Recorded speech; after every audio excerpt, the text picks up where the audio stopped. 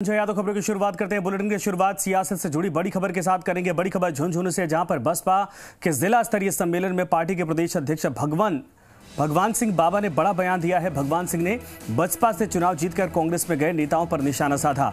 विधायक राजेंद्र गुढ़ा समेत दूसरे विधायकों पर कहा कि जो पार्टी छोड़कर गए हैं, उन्हें दो चार महीने में सजा मिलने वाली है। उनकी सदस्यता खत्म होने वाली है। भगवान सिंह ने कहा कि 2018 में राजेंद्र गुढ़ा को टिकट इसलिए दिया गया था क्योंकि उन्होंने पहले पार्टी बदलने पर माफ़ी मांगी थी, लेकिन चुनाव जीतने के बाद उन्होंने फिर से विश्वासघात किया है।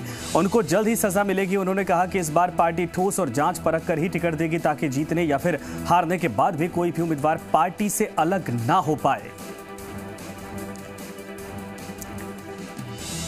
देखिए, नंबर एक तो मैंने कहा ना कि दल बदल विरोधी विधेयक के तहत हम लोग कार्रवाई कर रहे हैं।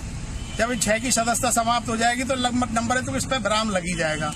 दूसरे, हम लोग अब की बार ये बिल्कुल ठोस तरीके से जाँच परख करके उम्मीदवार उतारेंगे जो पार्टी के लिए समर्पित हों, पार्टी के लिए जीते हारे, लेकिन पार्टी छोड़कर नहीं जाए। ऐसे उम्मीदवारों को हम टिकट देंगे और उनको चुनाव जिता कर भेजेंगे